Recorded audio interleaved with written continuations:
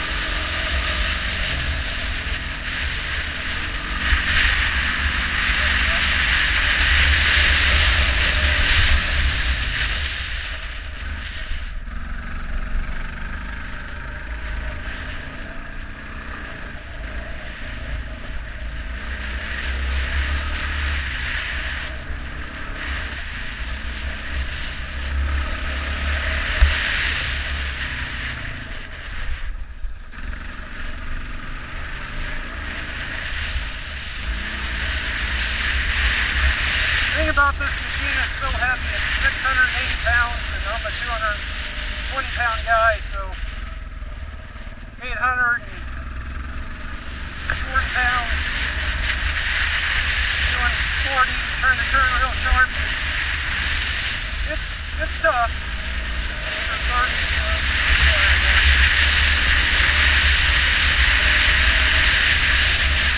think if I had a little bit lighter